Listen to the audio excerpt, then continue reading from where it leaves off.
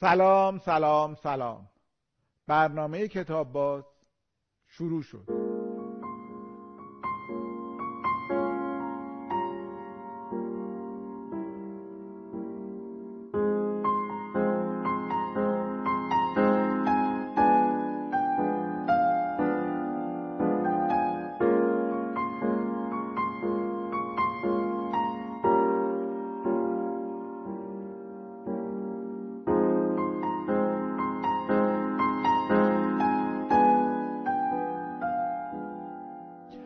آقای اردشیر رستمی سلام.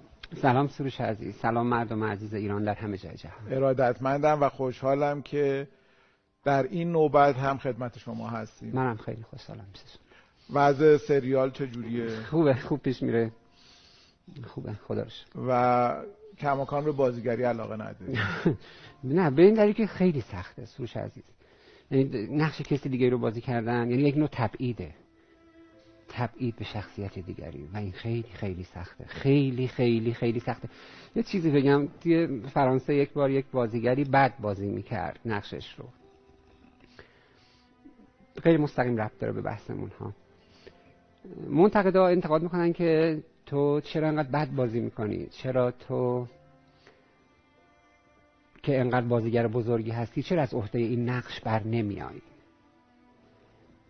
یک شب اینها رو دعوت می‌کنه به یک سمیناری و میگه که جمع شید لطفا باهاتون صحبت بکنم. یه جلسه می‌ذارن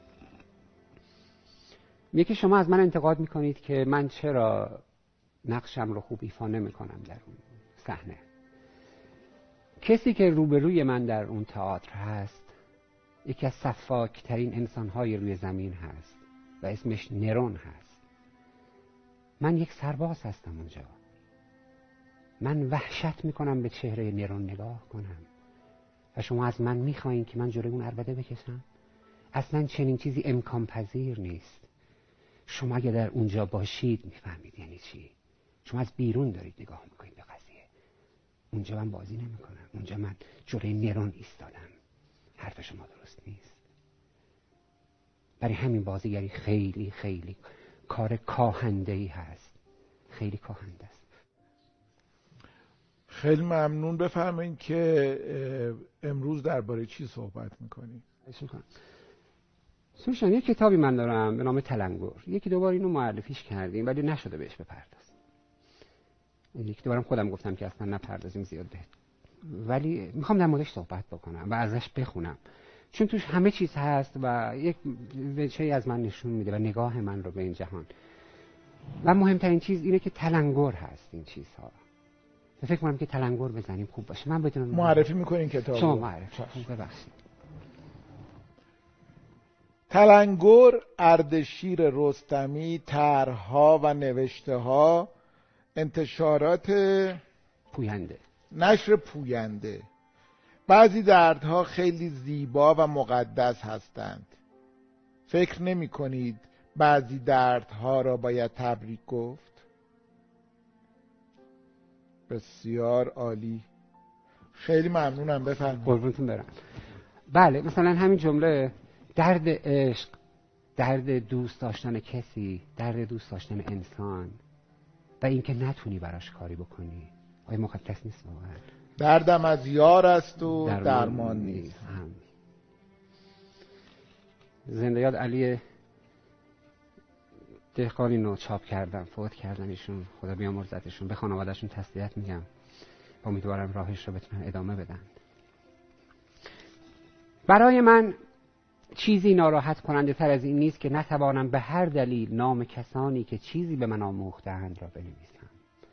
چون حقوق معنوی افراد رعایت نمی شود قطع شعری که بسیار دوستش میدارم کجا و توسط چه کسی برایم خوانده شد نمی‌دانم. که نام شاعر را با خود نداشت. سالهای سال است که آن را می‌خوانم و نام شاعرش را نمی‌دانم. مگر شب در تاریخ سیاه خود چه افتخاری کسب کرده است که این همه ستاره بر سینه دارد؟ آی رستمی یکی از شعرهایی که خیلی دوست داری و شاعرش نمی‌دونی کیه رو برامون می‌خونی؟ زیادن. یه هایکوی هست که بر روی ناقوس معبد نشسته. آه در خواب از پروانه. الان یادم نیست شاعرش ها شاید برم پیدا کنم بگردم شعر رو پیدا کنم. اینی که گفتی منم شعرهای زیادیه که خوندن برام واقعا و عجیبه یعنی خیلی اینو حس کردم که الان یادم نیست اینو کی خوند. و شاعرش هم نمی‌دونم. ولی شعره جالبه که شعر یادم مونده. یکیشو بخونم منم. بله حتما. اینو من فکر می‌کنم سال اول دانشگاه که بودم شنیدم. ولی یادم نیست که کی خونده. شاید بشه با یه جستجوی ساده شاعرشو پیدا کرد ولی الان شاعرشو نمی‌دونم کیه. یکی مرغ بر کوه بنشست و خواست بر آن کوه چه افزود و زان کوه چه کاست. من آن مرغم و این جهان کوه من. چو رفتم جهان را چه اندوه من. آفرین آفرین. یک بایاتی هم هست. میگه که تقدیر بر سنگ قبرها خواهد نشاند. پرنده های کوچک را. او خیلی زیبا بود خیلی زیبا بود. نمی‌دونم زیبایی اندوهناک هم هست زیبایی غمناک هم هست. زیبایی درد هم داره. چون چیزایی که گفتیم قشنگم ولی درد هم دارن. این پارادوکس های زیباییه. ببخشید. اوه اینو بخونم. ماجرای خوابهای من یک سیر عجیب و قابل توجهی دارد که بایستی بیش از پیش به آنها بیاندیشم زیرا نکات بسیار مهمی دارند. وقتی خوابهایم میآیند تذکرات مهمی از درون به من داده می شود و من می توانم از روی آنها خطاها و اعمالم را بازبینی کرده و با آگاهی از خطرات به اعمالم نگاه کنم و دقیق تر حرکت کنم. یک شب خواب دیدم پرنده های بزرگ بدون که کسی به آنها شلیک کرده باشد پرهایشان میریزد و خود به خود بر زمین میافتند. نزدیک پرنده ها شدم. دیدم هیچ زخمی بر آنها نیست. آنها اسیر خود شده بودند. بالهایشان در هم گره خورده بود. و نتوانسته بودند به پروازشان ادامه دهند. یکی از پرنده ها به من گفت اردشیر گرفتار خودت نشوی. بزرگترین دشمن انسان خود اوست. در خودت قفل نشو. یکی هم دیدم خیلی خوبه. خوابام خیلی خوبن. خیلی خوبن خوابام. یه بار یه خوابی دیدم یک گاوی رو می‌خواستن بکشن. خیلی از قصاب ها رو زده بود این گاو رت و پار کرده بود. قصاب های تنومند و بزرگ کرد. رو یه مرد کوچیکی وارد خواب شد و آروم آروم چاقوش رو تیز می‌کرد. گفتم چی شده؟ گاوه گریه می‌کرد. گفتم چی شده؟ گفت این منو می‌کشه. گفتم از کجا می‌دونی؟ گفت نمی‌دونم. چی کار خواهد کرد؟ اگه می‌دونستم که کاری می‌کردم. بعد قصاب گفتش که گفتم از کجا می‌دونی؟ گفت چاقوشو ببین چقدر آروم و با خون سردی داره تیز می‌کنه. این این کار است. قصاب گفتش که یک تناب کلفت بیارید. تناب کلفت آوردن گفت پای عقب گاو رو ببندید به این درخت تنومند. درخت چنار بزرگ بود. بستنش به درخت و گاو اومد به مرده حمله کنه و تناب اجازه نداد. و قصاب آروم آروم سر اینو برید. سر افتاده به زمین گفت اردشیر گفتم چیه؟ گفت با پای بسته دایرت رو ترک نکن. دایرمون هر چقدر هم کوچیک باشه ما امپراتور دایرمون هستیم. من باید میذاشتم اون به دایره من میومد. به دایره دیگران وارد نشیم. خیلی مقدس بود خوابم. ما زمانی میبازیم که دایرمون رو تغییر میدیم. وارد دایره دیگران میشیم. دایرمون هر چقدر هم کوچیک باشه ما سلطان اون دایره هستیم. بذاریم دیگران بیان تو دایره ما. هر چقدر هم کوچیک باشه ما اونجا برنده میشیم. چون مال خودمون هست. وارد دایره دیگران نشیم. هر کس هر کاری که در جهان هست اگر به بهترین شکل بتونه اونو انجام بده سلطان کار خودش خواهد شد و جهان فتح خواهد کرد. لازم نیست بره جای دیگه. هر کاری که می‌کنه. گلدوزی کنه غذا بپزه چای فاضلاب خالی کنه پزشک باشه پروفسور باشه. در یک جای دوری تحقیق بکنه در برای یک گیاه. هر کاری بکنه که اون کار به بهترین شکل انجام بده قطعا پیروز خواهد شد. ما کارمون رو باید خوب انجام بدیم. و اگر کار خوب انجام بدیم به خدا نزدیکتریم. خداست که عمل بی نقص انجام میده. وقتی ما یه ابزار بد تولید می‌کنیم به خداوند بهانت کرد ولی امیدوارم این شانس این سعادت این خوشبختی بزرگ رو داشته باشیم. این سخته آقای رستمی که همه ندارن که کارمون رو دوست داشته باشیم. بله. باید تلاش کرد. باید تلاش کرد. باید به, حرف دلمون گوش کنیم. ما وقتی به حرف دلمون گوش نمی کنیم میبازیم گاهی وقتا نمیشه ها. باید تونست. باید تونست. آخه من فکر می‌کنم گاهی وقتا آدم سعیم می‌کنه ولی متاسفانه نمیشه. شاید اون موقع باید چیزهایی برای خودش آدم دلایلی ایجاد بکنه که بتونه ها؟ این قضات همدانی میفرمایند که هر وقت کم آوردی از قلبت سوال کن. ما زمانی میبازیم که به حرف قلبمون گوش نمی‌کنیم. ما هزار جا قلبمون میگه نرو میریم و میبازیم. و بعد قلبمون میگه مگه من نگفتم برو. خودمون میگیم این که به من گفته بود نرو. ما هر وقت به ندای درونمون گوش نمی‌کنیم میبازیم. ما به حرفهای جهان گوش می‌کنیم و جهان خودش تکرار می‌کنه. ما به حرف خودمون گوش نمی‌کنیم. درون ما به خدا نزدیکتر ما به حرفمون گوش نمی‌کنیم. ما اسیر تبلیغات شدیم اسیر حرفای این اون شدیم که این بهتره برو سراغ این برو سراغ اون. برای همین خیلی آدمایی داریم که خیلی کاره هستن ولی از کارشون لذت نمی‌برن. چون به ندای درونشون گوش نکردن. آدم باید به ندای درونش گوش کنه. اگه ما به ندای درونمون گوش نکنیم هر چی که به دست بیاریم باز هم باختیم. ببخشید من نباید فیلسوف داشتم از این حرفا بزنم. ولی نوشتم دیگه اینا رو بخونم براتون. مرسی که بحث رو می‌کشید اینجا. هر روز که میگذرد روزی از عمر ما کم می شود به عبارتی ما در روزها بخشی از حق حیاتمان را می‌پردازیم. در دیدارهایمان از عمرمان کم می شود در آب خوردنهایمان راه رفتنهایمان.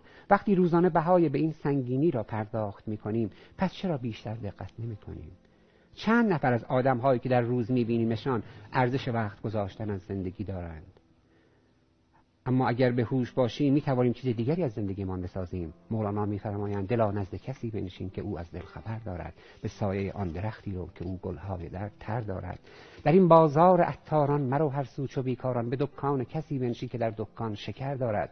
تو را بنشاند او بر در به تراری که میآیم. تو منشین منتظر بر در که آن خانه دو در دارد. دو درت می‌کنه. یه پادکستی گوش می‌کردم همین دیروز. خیلی جالب بود خلاصه کتاب اصل گرایی اسنشیالیسم رو خیلی جذاب تعریف کرده بودن خیلی جذاب. و دقیقا همین حرف رو می‌زدن که ما هر روز تو این کتاب میگه و تو این پادکست موقعیت های بسیار زیادی جلوی راهمون قرار می‌گیره که خیلی هاشم جذابه. خیلی هاشم به نظر میاد مفیده. خیلی هاشم اتفاقا مسیرهایی رو ممکنه ایجاد بکنه. ولی اصل گرایی اینه که ببینیم اصل هدف ما چیه و اون رو انتخاب کنیم. گاهی وقتا اینقدر فرعیات جذابی سر راهمون قرار می‌گیره و مسیرهایی که درسته که مسیره درسته که بیراه نیست ولی ما رو از مسیر اصلیمون داره منحرف می‌کنه. چقدر خوبه تو این حرفا رو می‌زنی سوچه. من باور که نه نه چیزه. من هم دارم یاد می‌گیرم و میام اینجا که بیشتر این حرفا رو میشنوم خیلی خوبه. چون منم به این چیزها فکر می‌کنم. آفرین این حرف من نبود حرف اون پادکست و اون آره. کتاب بوده. همینطوره همینطوره. و من تو خود کار خودم مثلا کاریکاتور که کار می‌کنم یا نقاشی می‌کشم تصویر سازی می‌کنم خیلی سوژه هایی به ذهنم میاد در تایید حرف شما دارم عرض می‌کنم که مال من نیست. و اونا رو نمی‌کشم خیلی سوژه خوبی هن. ولی مال من نیست. میگم نه این در هیته در مسیر من نیست. درست فرمایشتون. وقتی قرار است لامپ سوخته عوض شود یا گلدان ها آب داده شود یا شیشه شیر کودک پر شود و یا خیلی از همین کارهای کوچک که خودمان بهتر می‌دانیم چه کارهایی هستند انجام بگیرد نباید تنبلی کنیم. تنبلی بخشی از لطمه است که به خودمان می‌زنیم. لطمه بزرگتر این است که ما با عمل نکردن به همین کارهای کوچک کیفیت انسانی خود را از دست می دهیم وقتی چیزهای کوچک مهم نشوند رفته رفته چیزهای بزرگ هم مهم نمی شوند و بعد خودمان هم مهم نمی شوند خیلی خوب. خیلی خوب. یکی دیگه یکی دیگه بخونم. بله بله. ببخشید. چیزی می‌خواستین بگین؟ بگم برای اولین بار منم نفهمیدم که زمان گذشته. اینقدر جذب شده بودم که متوجه گذر زمان نبودم. قربونتون همیشه شما می‌گفتین ای کی رو تموم دفعه ما در جهانی زندگی می‌کنیم که سرشار از جهان هاست. جهان به اندازه تمام مردمانش و ساکنانش و ساکنان دیگرش حیوانات. جهان دارد. اما به اهمیت این موضوع پی نبردیم. زیرا سراغ خودمان نرفته ایم هر کس و هر پدیده‌ای برای خودش جهانی دارد. برای اینکه جهان از تکرار و خستگی و یک نواختی بیرون بیاید باید جهانهای جدیدش کشف شود. شاید یک نویسنده بزرگ یا یک بازیگر یک دکتر یک مهندس یک شاعر یک متخصص بزرگ یک قهرمان و یا انسانی که هیچ وقت قبل از این در جهان نبوده است در درون شما منتظر شما باشد تا صدایش کنید. اما ما با اهمیت ندادن به او و ترس از تاریخ او را هرگز به دنیا نمی آوریم ما سراغ همه چیز همه کس می رویم جز خودمان. حکیم اقبال لاهوری میفرمایند ای بنده خاکی تو زمینی و زمانی صحبای یقین درکش و از دیر گمان خیز. از خواب گران خواب گران خواب گران خیز بیداد ز افرنگ و فریاد ز افرنگ و دلاویزی افرنگ فریاد ز شیرینی و پرویزی افرنگ. عالم همه ویرانه ز چنگیزی افرنگ. معمار حرم باز به تعمیر جهان خیز از خواب گران خواب گران خواب گران خیز خیلی زیبا بود خیلی زیبا بود. آقای روسم در خدمت. ببخشید. من ببخشید یک از این می‌خونم. بعد بدین کمش میمونه چون زیاده. با یک کتاب دیگه جلسه بعدم بریم. عذر می‌خوام. چون همش حرفای دیگران دیگه. حرفای خود من کمش بله، نیستش. بله. قربونتون ببخشید. مرسی. شعر از اکتاویو پاز با ترجمه بسیار زیبای فؤاد نظیری عزیزم. اگر تو کابوس کهربارنگی جاده خونم من. اگر تو اولین برفی منم آنکه اجاق سپید دمان را روشن می کند اگر تو برج شبی کاکل سوزان ذرتم من در میان ذهن تو. اگر تو هود هود صبح دمی فریاد اولین مرغم من. اگر که زنبیل پرتقال هایی تو چاقوی آفتابم من. اگر تو مذبح سنگی دستان کافرم من. اگر تو سرزمین خفته هستی می سبز فامم من. اگر که شر شرکی تو اگر که شر شرکی تو باران رحمتم. عالی. من یه چیزی درباره پاز همین الان به ذهنم رسید. ببین درست دارم فکر می‌کنم یا اشتباه از شما سوال کنم. تو سنین نوجوانی جوانی سالهای سال پیش من از طریق دایی و دوستهای داییم اسم اکتاویو پازو شنیدم و بعد کتاب سنگ آفتاب با ترجمه آقای احمد میرالایی. خیلی تعریف می‌کردن و من خیلی کنجکاو شده بودم. رفتم و این کتاب رو خریدم و شروع کردم شعر رو خوندن. هم لذت میبردم هم انگار درست نمیفهمیدم. یه دفعه درباره نفهمیدن صحبت کردی که اینم جزئیه. ولی لذت هم میبردم با وجودی که خیلی نمیفهمیدم. بیدی از بلور فواره ای از آب که باد کمانیش می‌کند. اینجوری اگر اشتباه نکنم شروع می‌شد. درسته که نفهمیدم و نمیفهمیدم ولی الان احساس می‌کنم که تأثیر تصاویر تأثیر اون کلمات تأثیر اون حسهای مبهمی که من برای خودم سر و شکلش می‌دادم. یه جایی هست که اسامی مختلفی رو صدا می‌زنه پاز توی شعر. آدم ها رو داره صدا می‌زنه و من برای خودم باز منم آدم هایی رو صدا می‌زدم. هنوز که هنوز بعد از گذشته بیش از سی سال بیش از سی سال تاثیر مونده. یعنی نترسیم اگر چیزی رو می‌خونیم و نمی‌فهمیم در اون لحظه. بله. داره یه جایی از جان ما خانه ای می‌سازه. بله آفرین آفرین. ببین حرفهای بزرگ به آرامی زده میشند و در طول زمان تهنشین میشن در انسان ها تاثیر خودشون رو می‌ذارن. اون چیزی که نوآوری ما بهش فکر می‌کنیم هست و خیلی شگرفه یهو کار شعاری هست. حرفهای بزرگ به آرامی زده میشن. تاثیرشون رو می‌ذارن. اون چیزهای بزرگ با صداهای بزرگ اونا فریاد هستن اونا شعار هستن اونا نمیمونند یک چیز خیلی مهمتر سروش عزیز اینه که ما انتظارهای عجیب غریبی از خودمون داریم. خب طبیعتا من به اندازه خودم می‌فهمم. مثلا آدم بزرگی نیستم آدم مهمی نیستم من به اندازه خودم می‌فهمم این رو. قطعا خیلی چیزهایی که دیگران می‌فهمم من نمی‌فهمم. چون من نه اون زندگی رو داشتم نه اون دانش رو داشتم. من اندازه خودم دارم حرف می‌زنم. اما هر سنی سروش جان یک دریافتی داره. شما الان برای همین می‌فهمید که اون در شما تهنشین شده و بعد از سی سال تاثیرش رو در شما گذاشته. اون موقع شما اونو دریافت کردید ولی نمی‌دونستید چی هست. و الان دارید میفهمیدشون رو. یکی از اشتباهات ما اینه که در سنین کودکی به بچه ها کتاب های بزرگ میدیم. نباید این کارو بکنیم هر سنی کتاب های خودشو داره. آخه من مثلا کاپیتال رو در دوازده سالگی بخونم چه می‌فهمم از کاپیتال؟ ولی ما خیلی از مهمان هایی که اومدن برنامهمون میگن که مثلا من پدرم مهمانمون گفته بچه که بودم برام گلستان می‌خوند بوستان می‌خوند شاهنامه می‌خوند نظامی می‌خوند. شاید اون موقع درک و دریافت کامل نبوده. ولی تأثیرش بله. نشستش بر جان وجود بله. داشته. بله. اون تأثیر هست. تأثیر در اون کلمه که به شما داده شده و شما اونجا گوش کردید نیست. شما سهم خودتون رو از اونها برمیدارید. به اندازه خودتون از اون خانش ها سهم برمیدارید. ولی معنوس هم میشیم. اونسی هم ایجاد بله. میشه. گوشمون آشنا بله. میشه. این فهم نیست. ببخشید. این تأثیره. خودتونم الان اشاره کردید بهش.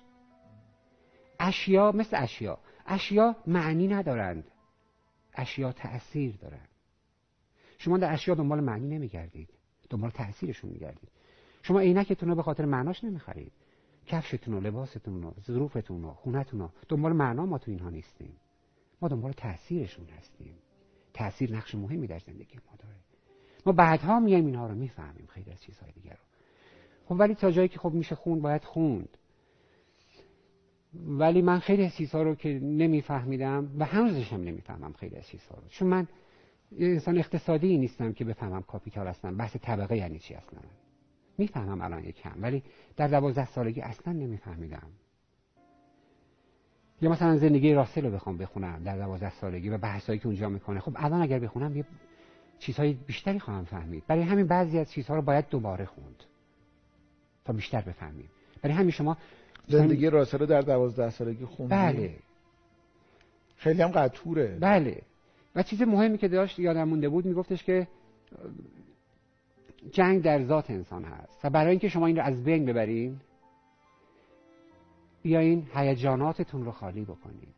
بحث مهمیه ها. در معماری در ایجاد شادی. برای همین بعد از اون ترنهای هوایی اومدن بعد از اون باد جامبیکا اومدن. بعد از اون چیزایی اومدن که هیجانهای بشری رو خالی کنن تا انسانها به اون سمت نرن ما زیاد از جهان طلبکار هستیم. در حالی که هیچ کاری برای آن انجام ندادیم. روزی یک ساعت درباره کاری که فکر می‌کنیم و انتظار داریم صد ساعت بهره برداری کنیم. بعد هم که چیزی رو به دست نمیآوریم شاکی می‌شویم. نمی‌خواهم بگویم ذهن همه یکسان است. نه بعضی آدم ها اگر یک ساعت درباره چیزی فکر کنند می‌توانند تاریخ آن را عوض بکنند. اما آیا ما جزو آن افراد هستیم؟ این را هم نباید از یاد ببریم که آن شخص مهم برای مهم و گذار بودن سالهای سال سختی کشیده است. جهان به اندازه‌ای به ما خواهد داد که ما به او می‌دهیم. ما به اندازه بهایی که می‌پردازیم دریافت می‌کنیم. مگر کسانی که به قولی دمشان جای بند بوده باشد. البته دم داشتن هم خوب نیست چون به قول شاعر ترک یک عمر باید آن را تکان بده. شاعر ترک اسمش چیه؟ اورهان ولی. چه بخواهیم بپز... چه بخواهیم بپذیریم و چه نه زندگی به دست آوردن است. به عبارت دیگر زندگی به چنگ آوردن یا باز هم به عبارتی خشنتر شکار کردن است. اگر ماشه اندیشه من را زودتر یا دیرتر از لحظه موعود بکشیم خطا کردیم. باید بدانیم چه حرفی را چه وقت بزنیم چه کاری را چه موقع انجام دهیم یا ندهیم. بیشتر مشکلات ما از اونجا شروع می شود که ما زمان حرفها و اعمالمان را نمی‌دانیم. آیا ما بیشتر از آن چه که باید روی خودمان کار بکنیم روی جهان کار نمی‌کنیم؟ دوره آموزش خیلی جالب. دوره آموزشی سربازی را در پادگان چهل دختر شاهرود گذراندم برای اولین بار بود که گوشه از زندگی نظامی را تجربه می‌کردم. همه چیز شکل دیگری داشت. ادبیات فرماندهان غذا کارهای شخصی و جمعی استراحت و هر چیز دیگر. برای کسی که دنبال چیزی بود که خودش هم نمی‌دانست چیست پیدا کردن دل مشغولی کار سختی بود. روزی یک تکه روزنامه قدیمی اطلاعات را در سطل آشغال پیدا کردم. انگار جهان را به من داده بودند. شعری از شاعر بزرگ جهان جهان عرب محمد الماقوت در آن بود. آن زمان او را نمی شناختم بعدها به دنبالش گشتم و در سوریه پیدایش کردم. همراه او انسانهای بزرگ دیگری را نیز در تمام کشورهای جهان پیدا کردم. جالب این بود که هیچ کس نمی‌داند بسیاری از ماجراهای من از همان سطل آشغال شروع شد. و جالبتر این که شعر ماغوت هم درباره سطل آشغال بود.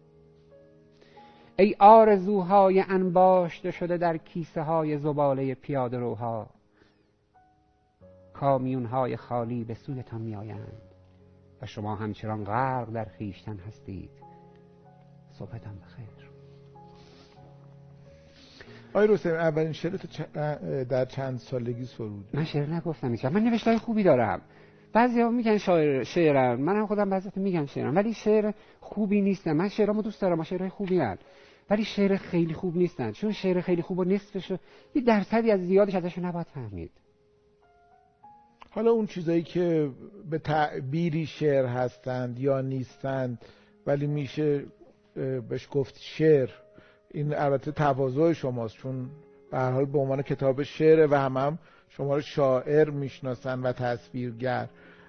در چند سالگی سروده شده گفته شده نوشته شده. نمیگم اینو چون فاجعه است اون چیزی که نوشته بودم ترکی هم بود که مجبور کرده بود به, به ترکی شعر بگم. منم که چی بلد نبودم فکر می‌کنم باید حرفای گنده بزنم.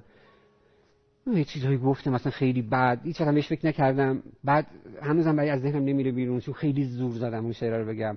بعد گذاشتم کنار خوندم. الان این چیزی که می‌نویسم خود به خود می‌زنه بیرون. اگر آدم کاری رو که می‌تونه انجام بده کار مهمی نکرده. اگه آدم نتونه کاری رو انجام نده و اون بیرون بزن اون کار کار خب آره ولی الان به عنوان یه چیزی که دیگه خودت هم قبولش نداری تجربه اول بوده برای مسیر نمی‌خوای بخونی. نه فاجعه است پس فاجعه است. پس ببخشید فاجعه است. محمد حسین جعفریان از عاشقان زمین است. سالها در منطقه بوده بعد از پایان جنگ تحمیلی به افغانستان رفت. و با احمد شاه مسعود به قول خودش آخرین چریک جهان زندگی کرد. در بین شاعران به نظر من اون یکی از بهترین هاست. چند سباهی هم با او در روزهای آخر کارم در روزنامه ابرار بودم و از دیدنش لذت می بردم او را در آغوش کشیدم و شاید هم گریستم. بخشی از شعر بلند جنگلی در مه او را بخوانیم کسی چای می آورد دشنه بگذار در دستم و در سکوت دور شو. می نگرد به باروت ها که نوش در فنجان می ریزد و تکه های شمشیر که دخترش در تاب سرخ می کند. گریست و تا هنوز غروب باجی است که زمین به اندوه او می‌دهد خیلی محمد حسین شاعر خوبیه. خیلی. ببینید تو جبهه همش اینا خرج دیدن همش بارود دیدن. اومده خونه یهو نسکافه می‌بینه. واه! ما باید اینو محمد حسین رو بغل کنیم اون فرمانده عزیز جنگ رو بغل کنیم بگیم عزیزم عشقم تو به من زندگی دادی مدیونتم تو به من زندگی بخشیدی از جونت مایه گذاشتی منم می‌خوام تو رو با جهان آشنا کنم. این هم هست. تو جبهه ماهی کسی نمی‌خورد. ماهی داره میپذیر خسر نیزه می‌بینه ماهی رو. همش کنسرو بود همش غذاهای آماده بود. مجاری اصلا برای غذا اینجور. یک بار یه غذای گرم شاید می آوردن مرغی بسرن برای دو رفعه یه مرغ چیزای گرم اینا. اینا رفتند برای ما زندگی بخشیدن و ما هم حالا باید به اینها زندگی بدیم. باید بغلشون کنیم.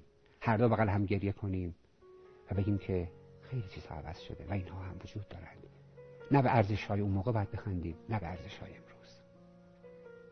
جهان در تنهایی به دنیا می آید به عبارتی وقتی کسی می‌خواد کار ارزشمندی انجام بدهد پیش از هر چیز به درون خیش می رود و اگر جهان اهمیت خود را از دست داده است به دلیل عدم خلوت با خیشتن است. روزی نویسنده از برخس پرسید شما برخس هستید؟ و او در جواب گفت بعضی وقتها. یعنی زمانی که سراغ خیشتن می‌روم برخص هستم و خیشتن هستم و آن کسی که شما می‌شناسید هستم. آقای شمس لنگرودی شاعر به همین خاطر برای من ارزش ارزشمند است. یکی از تنهایی هایش را بخوانید. بوی پیرهنت چون برف بهاری تمام اتاق ها را سفید کرده بود. اقربه ها مثل دو تیغه الماس بر مچ دستم برق می‌زدند و زمین به قطر اشک درشت و معلقی میمانست. ماجرای مرا پایانی نبود. اگر عطر تو از صندلی بر نمی‌خواست دستم را نمی گرفت و به خیابانم نمی بود این که از برخص گفتین که گفته بعضی وقت برخص هم اصلا یه مطلبی داره با این عنوان برخص و من. خود برخص نوشته خودش نوشته ولی اسمش هست برخص و من. مواجهه برخص. و یه شعری که خیلی خیلی خیلی دوست دارم اگر اجازه بدی برات بخونم. این قبلا تو کتاب بازی یه بار خوندم ولی میگم اینقدر این شعر به نظرم زیباست که یه بار دیگه هم می‌خونم. مهم اینه که شاعر این شعر کیه؟ شاعر شعر هست عرفی شیرازی. این مهمه که شاعرش عرفیه. چرا؟ چون عرفی میگه که هر جا که نگاه من و عرفی به هم افتاد بر هم نگرستیم و گرستیم و گذشتیم. به به منم یک جوری نوشتم این رو ولی به این زیبایی شاید نیست ولی دوستش دارم خودم. نوشتم همیشه با خود بودن سخت است. بعضی وقتا خودت را جا بگذار. و مانند روباهی که با هیچ کس سر دوستی ندارد روی زمین بند نباش. برو. وقتی آرام شدی به خانه برگرد و خصوصی ترین حرف هایت را به گلدانت بگو. کوچکترین گلدان ها هم رازداران بزرگی هستند. خیلی زیبا. بود اردشیر عزیز خیلی خیلی ممنونم این کتاب رو. بخشی که می‌خونی در برنامه بعد هفته آینده ادامه با یک کتاب دیگه ای بله بله, بله. خیلی خیلی متشکرم. کاوان سلام. درود بر شما. ارادتمندم صحبت و بحث درباره سهراب سپهری ادامه داره. بله همچنان ادامه داره و البته خب پیش بینی می‌کنیم که این سخن ناتمام بمونه چون سهراب شعار تاثیرگذاری بوده شعار مهمی هم هست به خصوص که اشعار متعددی از سهراب است که مردم باش آشنان و شاید دوست دارن درباره اونها لاقل بخشای صحبت بشه. و حالا فعلا تو این فصل که ماه مبارک رمضان هست ما تو این دو جلسه باقی مانده تا جایی که ممکن باشه از سهراب صحبت کنیم. تا ببینیم فصل بعد چه پیش میاد و چه قول دادیم به شما که عطار بخونیم. بله بله اتفاقا می‌خواستم یادآوری بله. خب بندم دوست دارم اما از این طرف شعر معاصر رو دوستداران زیادی داره. تو همین فرصت بسیار از عزیزان پیام دادن که شعر معاصر رو رها نکنید. باید ببینیم چه پیش میاد دیگه. اما طبق روالی که تعریف کردیم برای خودمون بریم سراغ یه شعر دیگر از سهراب که به این شکل لاقل می‌تونیم بگیم که اگر هم ناتمامون بعضی شعرها رو بررسی کردیم. باز انتخاب شعر هم از سهراب برای این مقطع گفتارمون این سخته چون شعرهای زیادی هستن که مردم باش آشنان و دوست دارن دربارش صحبت بشه. من همینجوری شعر آب رو انتخاب کردم. با توجه به اینکه این شعر جدا از اینکه میشه صرفا توصیفی در نظر گرفته یعنی کلمات معنای واقعی و همشگی خودشون داشته باشن وقتی که سهراب از آب میگه واقعا اون عشق عمیقی که به طبیعت داره موجب میشه که آب رو دوست بداره چون هم پاک هم زلال هم تراوت طبیعت و هم خب سرسبزی طبیعت از اون گرفته میشه. در ضمن می‌تونه وچه نمادین پیدا کنه و آب و ویژگی هایی که داره و اون توصیه که راوی این شعر در باب دوست داشتن آب و طبیعت میگه وچه نمادینش قابل تفسیر باشه. از این جهت خب فکر می‌کنم که بعد نباشه ببینیم. چند سطر هم داره که هم خیلی مشهور هم قابل بحث. اجازه بدید من یک بار از روش بخونم با اون شعر بسیار آشنا و مشهوری است اما روالمون رو رعایت کنیم. آب را گل نکنیم در فرودست انگار کفتری می‌خورد آب. یا که در بیشه دور سیره پر می‌شوید یا در آبادی کوزه پر میگردد. آب را گل نکنیم شاید این آب روان می‌رود پای سپیداری تا فرو شوید اندوه دلی. دست درویشی شاید نان خشکیده فرو برده در آب. زن زیبایی آمد لب رود. آب را گل نکنیم. روی زیبا دو برابر شده است. چه گوارا این آب چه زلال این رود. مردم بالادست چه صفایی دارد. چشمه هاشان جوشان گاوهاشان شیرفشان باد. من ندیدم دهشان. بیگمان پای چپرهاش آنجا پای خداست. ماهتاب آنجا می کند روشن پهنای کلام. بیگمان در ده بالادست چینه ها کوتاه است. مردمش می‌دانند که شقایق چه گلی است بیگمان آنجا آبی آبی است قنچه ای می شکفت اهل ده با خبرند. چه دهی باید باشد؟ کوچه باغش پر موسیقی باد. مردمان سر رود آب را می‌فهمند. گل نکردندش ما نیز آب را گل نکنیم. بله ستایش آب به عنوان یک جلوه از طبیعت که خودش فی نفسه زلالی و پاکیست و پاک کننده و منشأ حیات و از جانب دیگر سررشته زیبایی جهان به دست آب هست. یه روایتی توی این شعر هست. قصهش اینه که راوی ما در روستایی داره از ستایش آب صحبت می‌کنه یا گلمند از اینکه آب رو گل می‌کنند. و تصورش اینه که ده بالادست دهی که از جهت بومی و جغرافیایی بالاتر قرار گرفته آب از اونجا میاد و آب که وارد این ده میشه زلاله. پس معلوم میشه مردم بالادست به تعبیر شاعر آب رو گل نمی‌کنن. که آب انقدر زلال میاد. و چون گل نمی کنند پس آدم های خیلی خوبی هست. چون به طبیعت احترام می‌گذارند.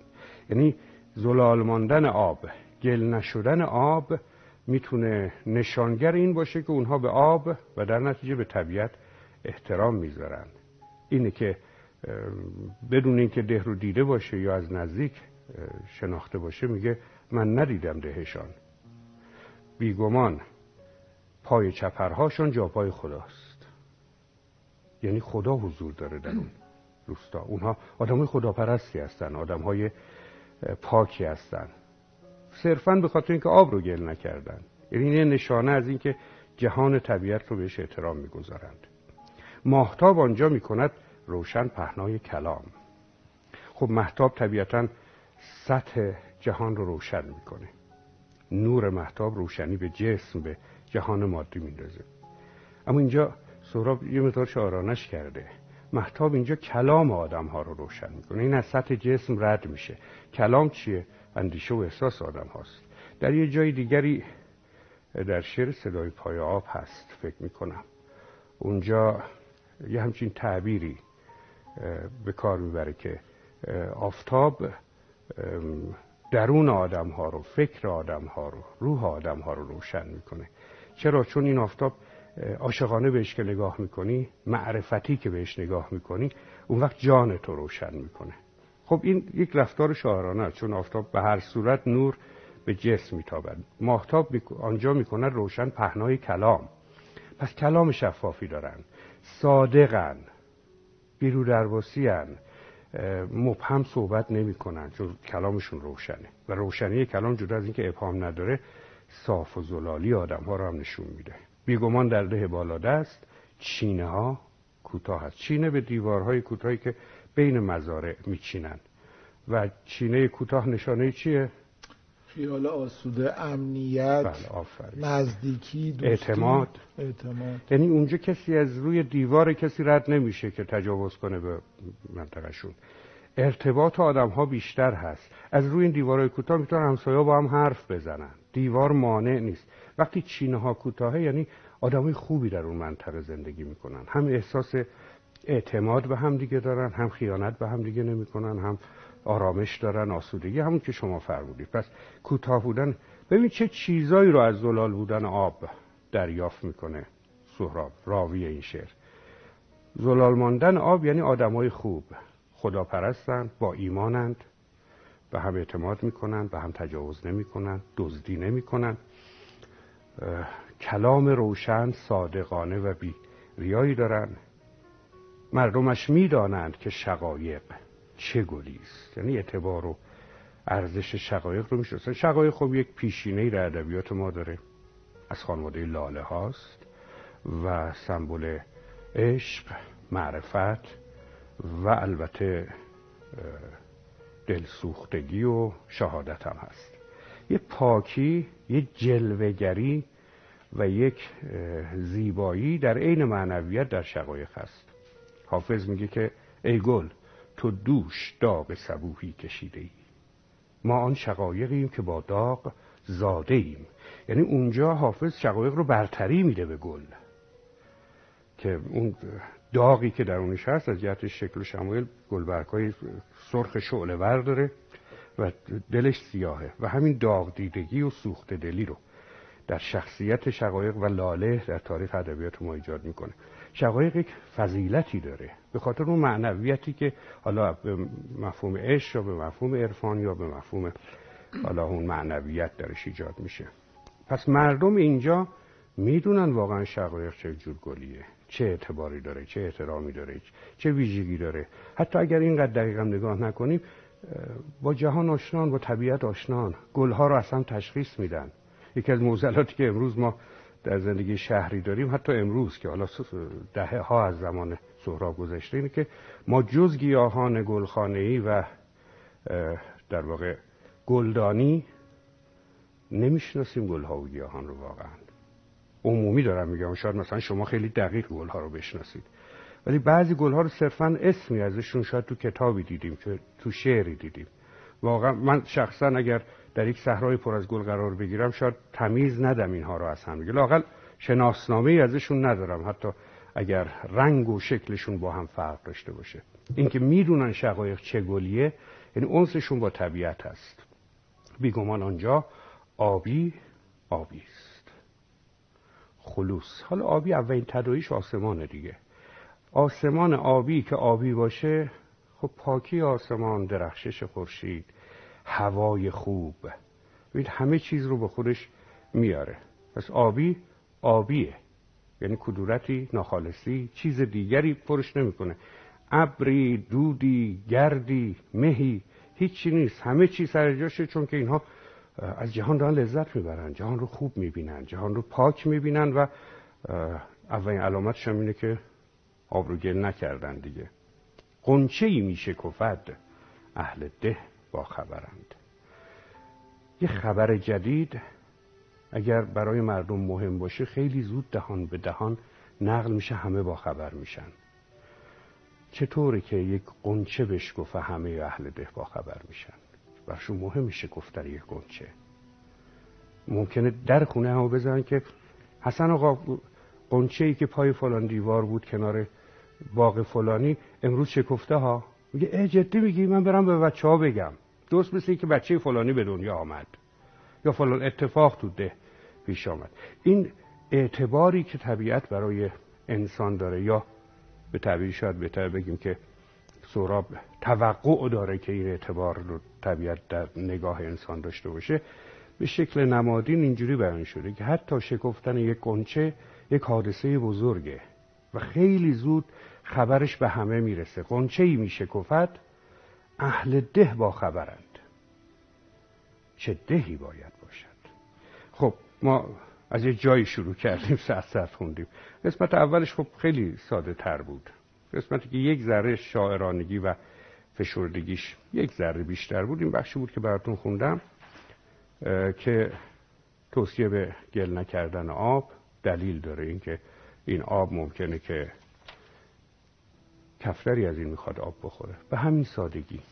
آب گلالود رو چرا به سمت کفتری که تشنه است هدایت کنیم؟ یا سیره یک پرنده کوچولو از خانواده گنجشکاست. داره پراشو میشوره تو این آب. یا یکی داره کوزش رو از آب پر می‌کنه. تصاویر روایی است که از توصیف این جهان روستایی در واقع به ما میده. شاید این آب روان می‌رود پای سپیداری تا فروش شوید اندوه دلی. یک تصویر قشنگ که یک نقاش یک عکاس خوب می‌تونه دریافت کنه. آب زلالی که از پای یک سپیدار رد میشه. طبیعتا یک سایه ای زیر سپیدار یه مکان برای آسودگی برای استراحت. برای اینکه بری بشین اونجا کیف کنی از جهان هستی. اینکه فروش روید اندوه دلی یعنی دل آدم وا میشه این تصویر رو می‌بینه. یک جویبار زلالی که از زیر یک درخت پربرگ رد میشه. چرا این تصویر رو خراب کنیم؟ چرا این منظره رو با گلالود کردن آب خراب کنیم؟ دست درویشی شاید نان خشکیده فرو برده در آب. از وجوه مختلف آب بالاخره باید زلال بمونه دیگه. یک درویش نون خوش می‌زنه تو آب که بتونه بخوره. چرا آب و گل کنیم که اون نتونه نونشو بخوره؟ و زن زیبایی اومده لب رود. روی زیبا دو برابر شده. تصویر این زن افتاده تو آب. آب اگه زلال باشه تصویر تو میفته توش. یک زیبایی دو تا شده چون تصویرش تو همه اینا دلیل بهانه است برای اینکه آب رو گل نکنیم. و دعا می‌کنه که کوچه باغش پر موسیقی باد. همیشه سرخوش باشن. طرب و شادی در بینشون رواج داشته باشه. موسیقی در شکل تاریخیش می‌دونید که ابزار طرب بوده. برای همین هم در متون قدیم به اهل موسیقی می‌گفتن مطرب. حالا امروز مطرب چون موسیقی وجوه مختلف و هنری پیدا کرده یک وچش شادی است و کسانی که تو مجالس و محافل موسیقی اجرا می‌کنن مطرب نامیده میشن که به یک هنرمند موسیقی بگی مطرب شاید بهش بر بخوره. به خاطر اینکه محدودش کردی به یک جنس موسیقی. و در گذشته مطرب کلا کار کسی بوده که با ابزار موسیقی طرب ایجاد می‌کرده. مطرب بگو که کار جهان شد به کام ما که حافظ میگه. کوچه باغش پر موسیقی باد یعنی الهی که همیشه خوش باشن الهی که همیشه شاد باشن. دعا می‌کنه براشون چرا؟ چون که آب رو گل نکردن. مردمان سر رود آب را می‌فهمند. گل نکردندش. ما نیست آب را گل نکنیم. خب این یه جای دیگه هم دعا کرده بود قبل از این. گفته بود چشمه هاشان جوشان گاوهاشان شیرفشان باد. این دیگه ملموس این دعایی است که میشه برای مردم روستایی کرد که هم چشمه ها جوشان باشن همیشه آب داشته باشن. آب حیاتیه دیگه برای وجود بشر. مخصوصا وقتی که با طبیعت سر می‌کنه. در محیط روستایی که کارشون کشت و کار هست آب شاید مهمترین مقوله است. از هر چیزی مهمتر. که میگه دیگه ده مثل قدیم نیست که از آب دور می‌گرفت باقا شنگار بهارا از شکوفه گر می‌گرفت. آب به چشمه حالا رعیت سر آب خون می‌کنه. واسه چال چیکه آب چل تا رو بیجون می‌کنه. نحشا میگندن و میپوسن و شالی میسوزه. پایدار قاتل بیچاره همینجور تو هوا چشم دوزه اگه بارون بزنه آخ اگه بارون بزنه. باران وسوسه پایانی کسی که زندگیش داره تموم میشه. ولی آب چون که سر آب می‌دونید که خیلی از مناطق روستایی حتی سر آب دعواها و جنگهای روستایی میشه. هست. یکی از منابع و ابزار قدرت هستن. بله آب, داشتن هدایت آب. در مناطقی که نوبت آب دارن یعنی مسیر آب رو به سمت باغ یا مزرعه هدایت می‌کنن اینا شب تا صبح نگهبانی میدن سر آب. که آب حتما به اون سمت و اتفاقا اون ده بالا دست همین که حالا غیر از اینکه آب رو گل نمی‌کردن همین که میذاشتن آب, آب برسه به بله آب از اونجا داره میاد. امیر نادری یه فیلم فوق العاده زیبا داره. دهی 60 بود فکر می‌کنم فیلم آب باد خاک. بله بعد از دونده بعد از دونده بود. اون شخصیت اصلی فیلم نوجوانی بود که در یک خوشسالی بعد از مدتی اومده بود به روستا و به خانه پدریش سر بزنه. یه بخش کوتاهی از ابتدای فیلم این جوان نوجوان دنبال خانوادهش میگرده چون به سبب خوشسالی کوچ کردن یا متواری شدند. ولی از بخش مهم فیلم از جهت زمانی و حجم فیلم دنبال آبه و شگفتانگیز این فیلم که جستجوی آب در اون خشکی مطلق که تصاویر فوق العاده هم تو اون فیلم خیلی جلوه‌گره بدونی که شمال باشه بدون اینکه شخصیت های متعدد دیالوگ های مختلف فیلم جذابیه. یه صحنه فوق العاده داره تدوین موازی حالا دیالکتیک بهش میگن. این پسر مجید نیرومند بود نقش رو بله. میگن به سختی زمین رو داره می‌کنه زمین فوق العاده خشک رو. و به شکل موازی تدوین شده یک جنازه یک گاوی که افتاده و دارن نه دارن حیونا مثل سگ و بله. شغال می‌کنن از بغلش. انگار داره میگه که هیچی از این نصیب تو نمیشه. اون یه جنازه است این خاکی که که تنها قطع موسیقی فیلم در پایان فیلم وقتی که آب میجوشه از زمین فوق العاده فیلم خوبی دم دست نیست ولی اگه پیدا کنن از اون ببینن همین فیلم هم فیلم قبلی دونده, دونده هم, هم بله. که بازیگرش هم یکی بود اونم یه بازیگر داشت امیر نادری با اون دو فیلم تو سینمای جهان در جشنواره‌های مختلف خیلی درخشید. و یادم که ونیز جایزه گرفت. حالا آیا تو فکر می‌کنم ما هم یه جوری نسبت به نسل و نسل های بعدی مثل مردمان ده بالا دستیم. یعنی باید باشیم. باید باشیم. یعنی طبیعت محیط زیست هوا خاک مسئله زباله مسئله سوخت مسئله گرم شدن کره زمین. این نگرانی که خیلی به شوخی ازش می‌گذارن چون فکر می‌کنن مال ما نیست ولی مال کل کره زمینه. یخهای قطبی. بله. اینا وظایفیه که ما داریم. و باید رعایت بکنیم که نسل بعد مثل سهراب سپهری از بالا دستی ها وقتی یاد می‌کنه از ما یاد بکنن. آفرین بر شما که دو وجه شعر رو یعنی هم توصیفیش و هم تفسیریش رو در همین کلام ساده گفتید. از خود آب گفتید که آب باید سالم بمونه. به صرف زیبایی جهان یا همون مایه حیات بودنش و بعد تعمیمش دادید به هر ذخیره انسانی هر موجودیتی که ما وظیفه داریم برای نسلهای بعد برای جوامع دیگر حفظ کنیم و به جانب اونا هدایت کنیم. حالا این می‌تونه حتی فرهنگمون باشه تاریخمون باشه اندیشمون باشه موجودیت اصیل بومیمون باشه. نگاه زیبای شناسانمون باشه اخلاقمون باشه هر چیزی که میارزه بمونه که در شعر زبانمون بله زبان به خصوص در شعر میراث اخوان یادتون از اون به شکل. پوستین تصویر کرده بود. اینجا آبه. ضمنی که باز اصرار می‌کنم خود آب می‌تونه باشه این شعر یعنی صرفا توصیفی بگیریمش. اما قابلیت تفسیر داره و هر چیزی که لازم من و شما به دیگران بسپاریم. حالا ممکنه زمانی باشه تاریخی به نسل های بعد ممکنه همین امروز. همین امروز ما می‌تونیم در درست استفاده کردن از منابع جهان دیگران رو بهرهمند کنیم. همین ماه مبارک رمضان که درش هستیم نخوردنهای ما به خاطر این نیست که افتار بهتر بخوریم. نخوردنهای ما شعن اخلاقیش اینه که از خودمون صرفه جویی کنیم تا دست دیگری پر بشه سفره دیگری اجازه پر بدیم بشه. بازم تعمیمش بدیم و در این ایامی که کرونا هست بله.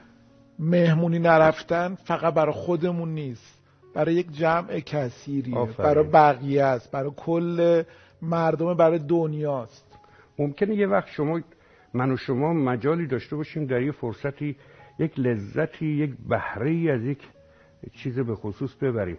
اگر به این فکر کنیم که لذت ما ممکنه به دیگران لذت رو انتقال نده برعکس بیماری رنج یا ناامنی در دیگران ایجاد کنه خب ما باید جلو خودمون بگیریم. این آب رو شفاف و زلال و پاک نگه داریم که دعای آدم های خوبی مثل راوی این شعر پشت سرمون باشه که چشمه هامان جوشان باشه و گاف هامون توی باب اول گلستان اونجایی که یه مردی سرخوش داره میگه که چقدر حالم خوبه و پنجره ای باز میشه و میگه تو حالت خوبه حال بقیه هم خوبه ایرم که غمت نیست غم ما هم نیست بله.